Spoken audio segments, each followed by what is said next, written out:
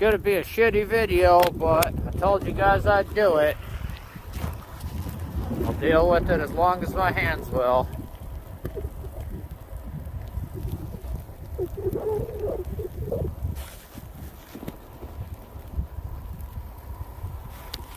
Welcome to Minnesota.